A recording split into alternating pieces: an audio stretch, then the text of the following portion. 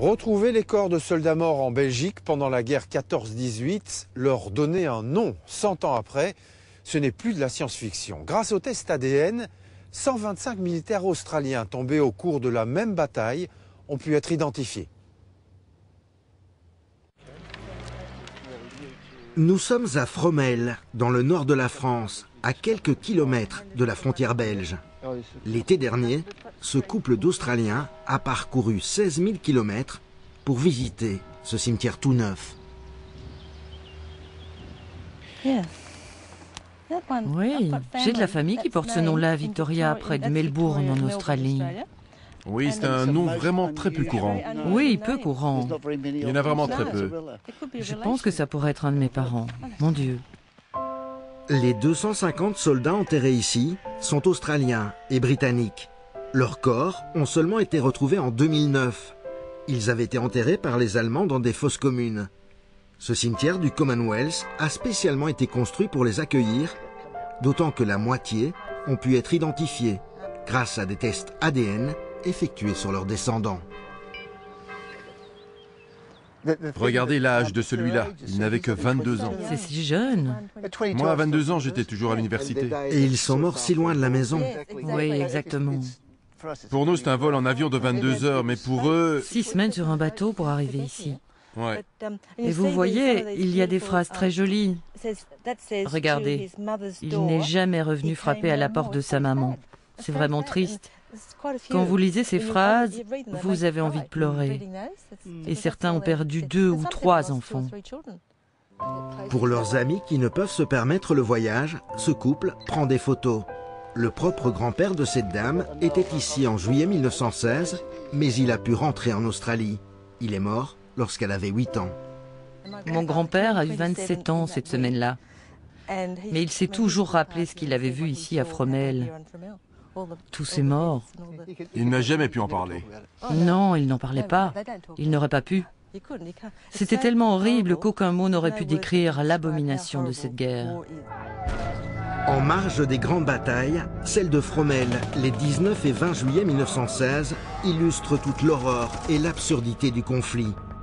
En quelques assauts, aussi meurtriers qu'inutiles, 1500 soldats britanniques et plus de 5500 Australiens sont tués, blessés ou capturés. Les tirs des mitrailleuses allemandes ne leur laissent aucune chance. Dans la région, de nombreux vestiges permettent de comprendre cette véritable boucherie. Dominique Bascourt et Bertrand Lecomte sont membres d'une association pour l'histoire et la mémoire. Ici, vous avez le poste de combat. Donc, il faudrait réussir à imaginer quoi? Qu'ici, vous aviez quelques soldats allemands, une mitrailleuse posée là, la grosse mitrailleuse lourde allemande. Et le sommet du blocos est aménagé comme un plateau de tir. Donc c'est une surface très lisse, légèrement en pente douce, qui permet à la mitrailleuse de balayer tout le terrain qui se trouve juste là devant. Donc ça veut dire que le mitrailleur, il va balayer un angle de tir comme ça, dans cette direction. Et il y a d'autres blocos qui existent encore qui sont un petit peu plus loin. Et l'idée, c'est que quand le site a été conçu, chaque blocos avait un angle de tir, mais au bout d'un moment, les angles de tir se croisent. Donc ça fait tout un périmètre qui peut être mitraillé par une, deux, trois, quatre, cinq, dix mitrailleuses. Donc ça fait une zone infranchissable pour l'adversaire. Surtout si l'adversaire court quasiment sur un terrain dégagé. C'est le champ de tir euh, idéal pour le mitrailleur, mais le champ de massacre pour l'assaillant. Dans la partie enterrée du blocos, le casernement lui aussi est toujours intact. Ce qui est intéressant ici, c'est que là on est descendu dans la partie euh, sous le poste de tir. Donc c'est l'emplacement où les soldats allemands, entre guillemets, pouvaient cantonner, c'est leur lieu de repos, leur abri, mais ça peut être aussi un lieu d'observation. Parce que via ces ouvertures, qui sont très larges euh, et qui sont presque au ras du sol, on peut observer ce qui se passe tout autour du blocos et on peut voir si un ennemi s'approche. En clair, ces positions étaient quasi imprenables. Aujourd'hui, ce professeur d'histoire regrette que de tels vestiges ne soient pas davantage mis en valeur. Ils permettent de matérialiser le conflit. On est ici sur la plateforme d'un blocos, poste d'observation avec une tourelle qui permet de regarder le front qui est de ce côté-là. Donc le champ de bataille est face à moi. Dans mon dos, j'imagine que je suis un soldat allemand, c'est tout mon dispositif arrière avec l'artillerie au loin. Et quand on regarde dans le paysage, il y a toute une série de blocos qui apparaissent. Alors aujourd'hui, euh, bah, on essaye avec notre association de remettre un petit peu euh, en valeur ces sites en travaillant sur un projet d'inventaire des blocos euh, construits par les Allemands pour qu'ensuite, une fois que l'inventaire soit fait, on puisse proposer une, étude assez concrète et puis pourquoi pas une exposition et pourquoi pas un chemin qui permettrait aux visiteurs de découvrir les sites. Car ici, l'histoire continue de s'écrire au présent. Des vestiges non répertoriés sont encore parfois découverts. Dans cette région, tout le réseau de défense allemand est pratiquement intact. Alors notre association, elle s'est créée en 2004, donc on a un groupe de profs d'histoire-géographie, de passionnés de la Première Guerre mondiale. Et notre première mission, c'est déjà de retrouver l'histoire de ce qui s'est passé, donc de l'écrire. On écrit l'histoire, on fait des publications, mais également, une fois qu'on a écrit l'histoire, de la transmettre. Et la transmettre aux plus jeunes, aux collégiens, aux écoliers de l'école primaire, pourquoi pas aux, universitaires. Et donc en transmettant cette histoire, c'est là qu'on fait un travail de mémoire. Et ça permet aussi d'expliquer encore pourquoi aujourd'hui, ben, le 11 novembre, ça a un sens. Donc c'est là-dessus qu'on travaille. L'histoire, celle d'un conflit lointain et pourtant si proche.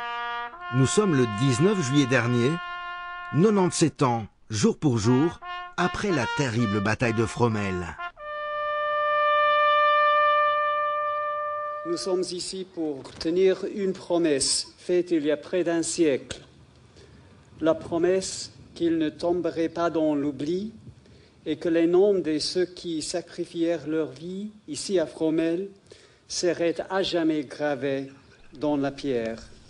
Ce jour-là, cinq nouveaux soldats australiens viennent d'être identifiés grâce au test ADN. Au cimetière du Bois du Faisan, leur nom est désormais écrit en toutes lettres comme un défi au temps qui passe. Chaque année, euh, on n'identifie qu'un nombre très limité de ces soldats et je pense que ça vous donne une idée des, difficultés d'établir les identités. Le travail est important, malheureusement, euh, il n'est pas facile. C'est vraiment dans ce cimetière une des pages les plus sombres de l'histoire militaire euh, de votre pays Absolument, ah oui.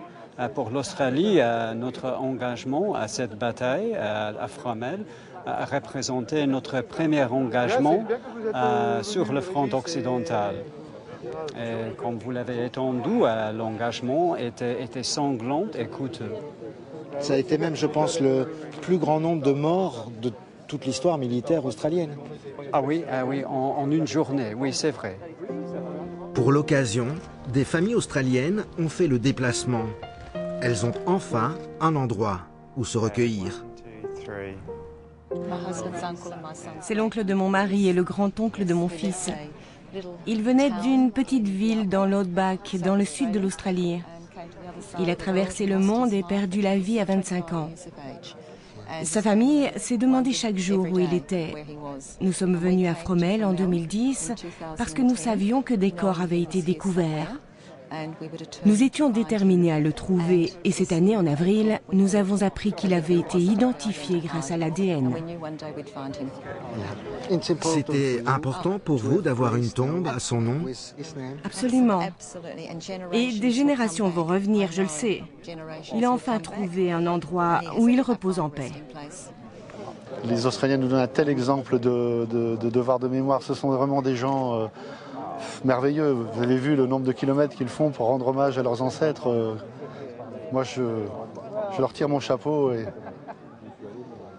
et c'est une réelle volonté de votre part aussi de continuer à entretenir ça, c'est les, jeunes. Ah oui, tout à fait. Oui, ça, moi, je souhaite, je fais tout mon possible pour que ce devoir de mémoire soit pérennisé, que, que d'autres prennent relais. C'est pas seulement le, maire du village, c'est aussi tous les habitants, c'est aussi euh, les enfants, etc. Oui, oui.